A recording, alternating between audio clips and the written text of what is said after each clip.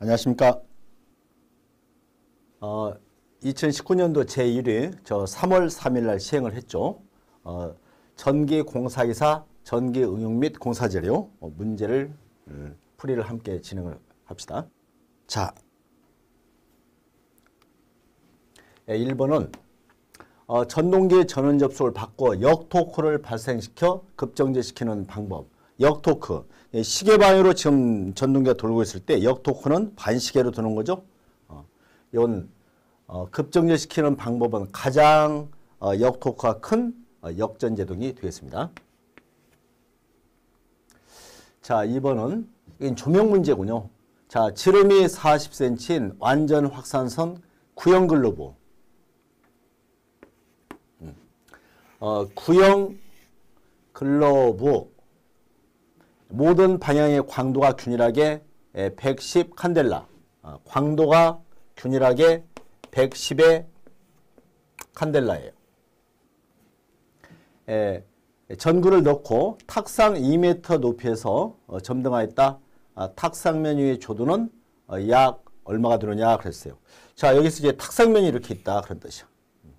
그래서 여기에서의 높이가 아, 예를 들어서 R가 몇 미터다? 2미터다. 이 안에 이제 광원이 있지만 요 여기 여기를 통과해서 나오는 어, 광도가 어, 여기에 조도를 결정하는 것이죠. 음.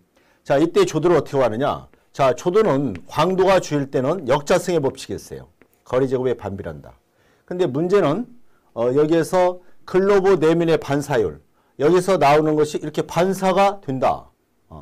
어. 자, 이 반사율이 얼마입니까? 반사율이 로라고 한다면 0.4가 돼요.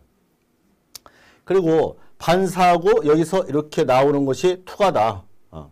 이 투과율이 얼마냐? 0.5다 그런 뜻이에요.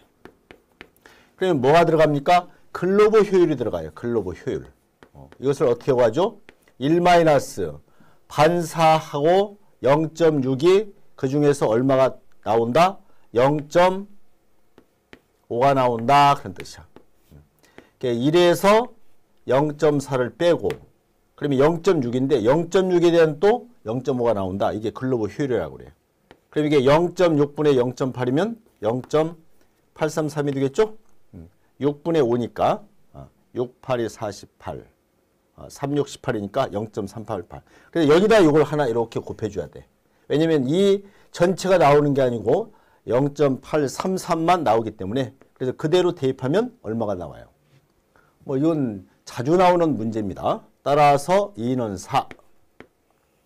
자, 110 곱하기 0.833.